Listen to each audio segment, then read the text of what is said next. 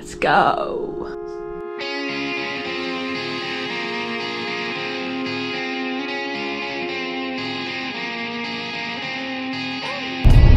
Going to the left.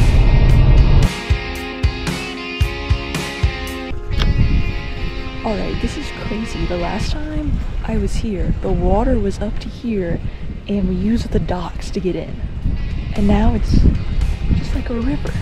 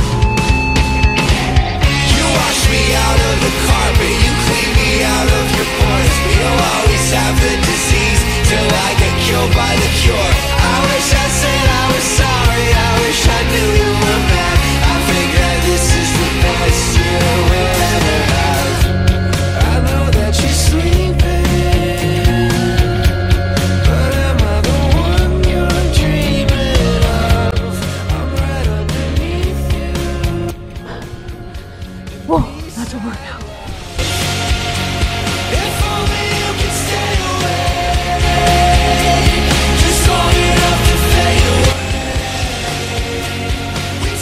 I just found leaf clovers. What? Do you see this?